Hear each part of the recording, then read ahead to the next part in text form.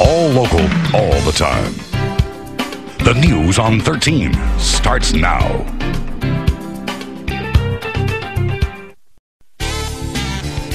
A Seminole County man who's worked in the fitness industry for four decades says he's got the solution to help baby boomers shape up in no time. And here's the thing that actually may catch your attention. As News 13's Allison Walker has learned, this program does not mention a treadmill.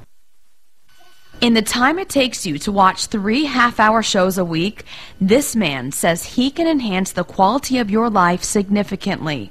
62 year old Jim Flanagan of Longwood is training former NFL player Robin Parkhouse, who is recovering from having both knees replaced. The results? Kind of got on a record breaking pace. The mentality behind Flanagan's strengthening techniques is this to be able to push yourself to the point of failure. Flanagan says what frustrates him is that there are so many fitness programs out there, either online or at the local gym. He says what sets his program apart is research. We're talking about 40 years behind it. So he's putting it all together in a brand new online program launching this week. It's called ProperStrengthTraining.com. What you won't find is what other fitness routines are based on.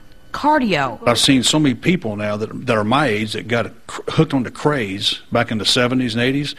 They're my age now, and they've all had knee replacements, arthritic ankles. You have to strengthen muscle tissue. Because the thing that moves you, he says, is muscle. But success, he expects, comes only if you let him push you to that point of failure.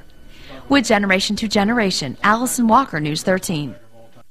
Once again, it's important to talk to your doctor before enrolling in any kind of fitness program.